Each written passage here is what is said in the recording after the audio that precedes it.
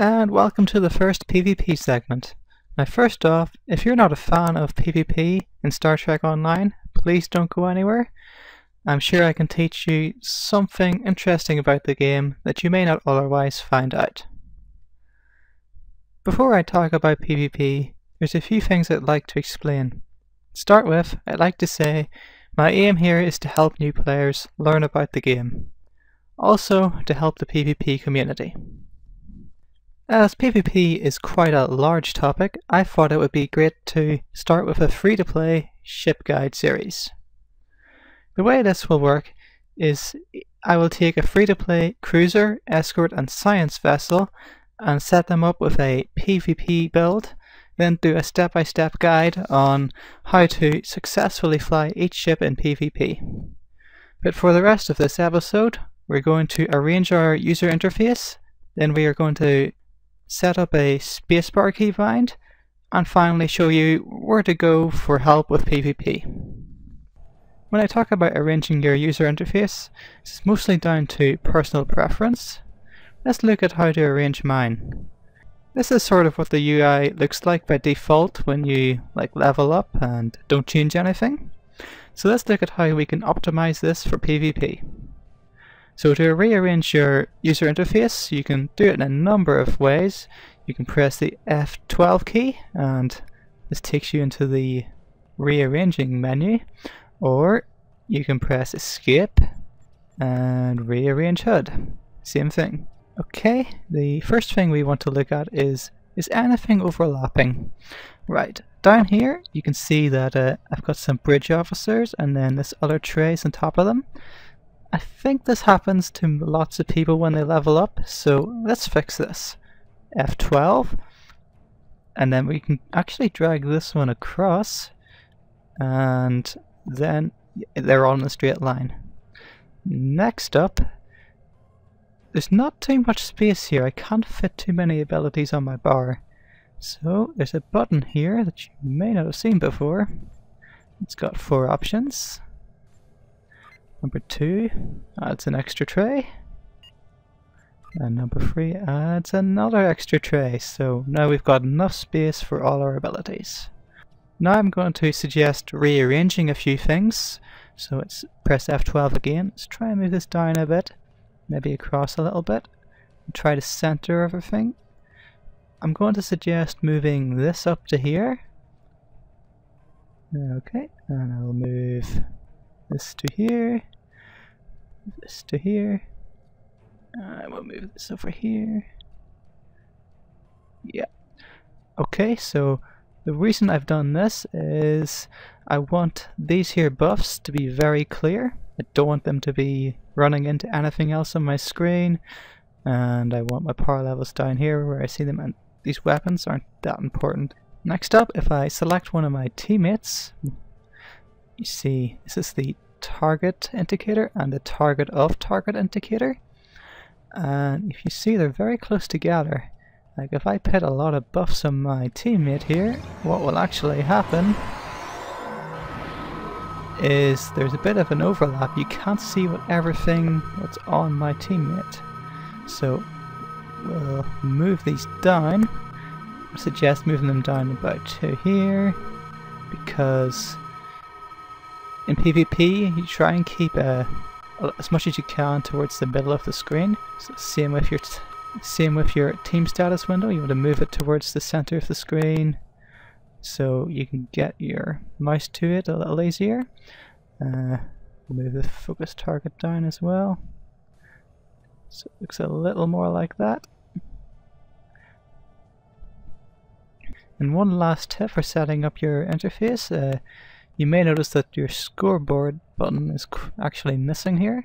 Um, this happened with the, the launch of the new expansion. Uh, they sort of like hid your scoreboard. It's actually right here, you just need to drag it out again, and there we go. Button's back, maybe. We'll move it up. There we go. Okay, so now everything's more centralized. I don't have to move my mouse as much and we've got lots of space to push all our buttons. Next up, look at how to set up a custom power level. if we click here, you got option free. This lets you save custom power levels. The minimum power level is 15 now. So let's change the defense power level. Let's let's change the level of engine power. So we'll drag this down, lock that, drag this down, lock that. There you go, you got more engine power. We'll save that. And that's how you set up a custom power level. You'll you may need that in the coming episodes. Okay, let's look at setting up your own keybinds for a spacebar. Now, keybinds are common to many MMOs. They allow you to reprogram your keys to do multiple in-game commands. So let's set up a spacebar to distribute your shields, fire all your weapons, hit a few abilities, and maybe a few other things. To start with, we want to find your live folder. This is the live folder. It's normally found at this location on your computer. What we're going to do here is make a new text document. So right click, new text document, and call it binds, B-I-N-D-S. And then there we go, and open it up. Okay, once we've opened our text document, let's uh, copy the uh, keybind code in. Now you can find this under the show notes in the keybind section. Just copy this entire thing in from start to finish. Has to all be in one line, full code. Now let's read what it says. So it starts with space, so it means we're going to reprogram our spacebar.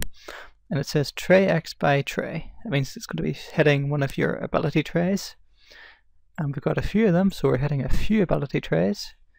And then next thing across is gen send message fire all. This means it's going to fire all your weapons.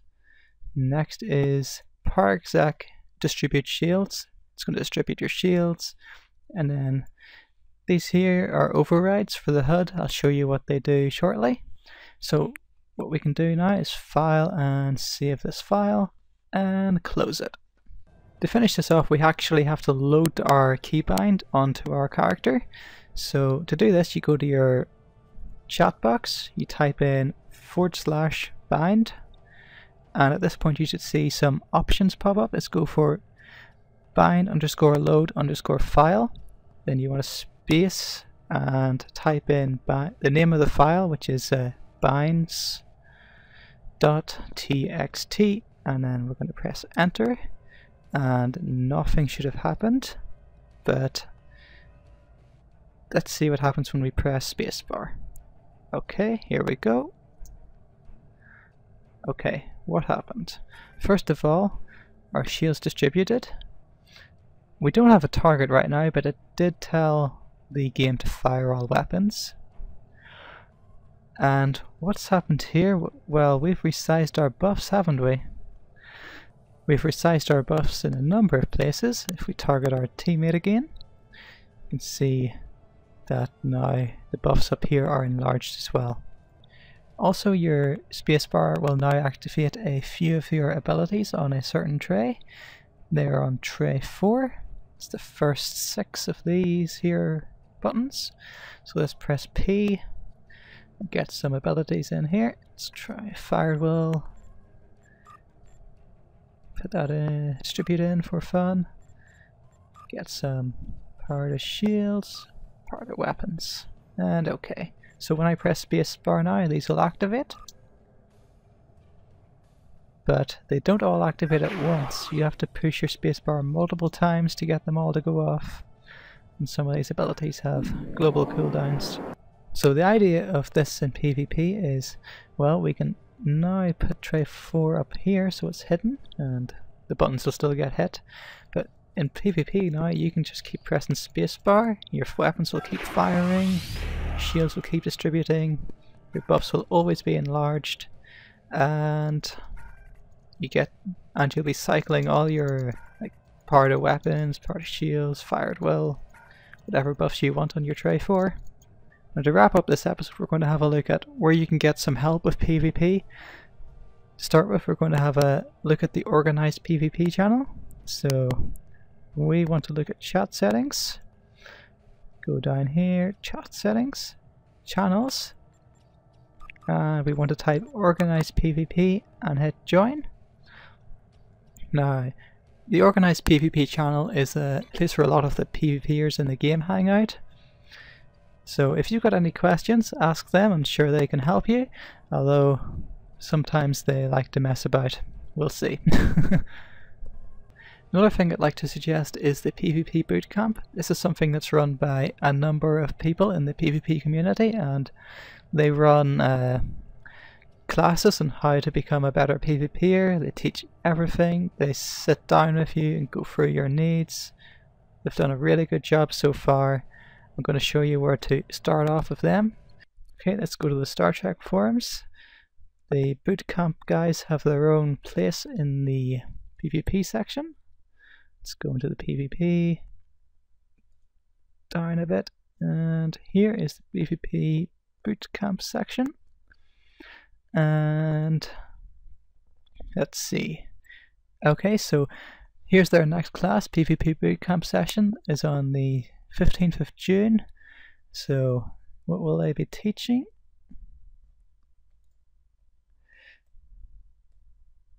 Okay, so they're starting off their second session on the 15th of June.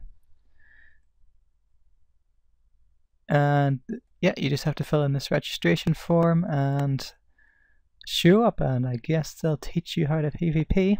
So go check that out. Okay, that's all I want to talk about for PvP this week. Uh, next week I'll be starting my free-to-play cruiser guide. Uh, we'll be looking at this build here with an engineer and now it's time to skip over to the community segment. See you there.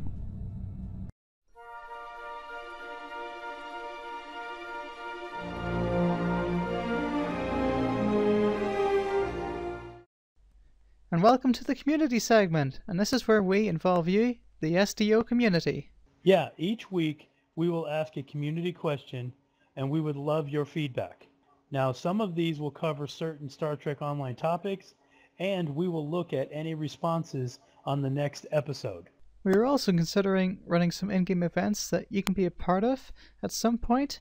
For our first community question, we want to ask you what you think of the show. Like, what did we get right? What content would you like us to cover? You can leave comments under this video in the comments section or email us at uh, lafamiliafleet at gmail.com. Before we warp out this week, there is one thing you can help us with. This is our first episode, so if you could help spread the word that there's a new STO podcast, that would be great. I'm telling you, spam subspace people. If you could tell everyone on your friends list, or if you're in a fleet, send out a fleet mail about Make It STO, that would really help support us a lot. Until next time, STO players. Make it STO!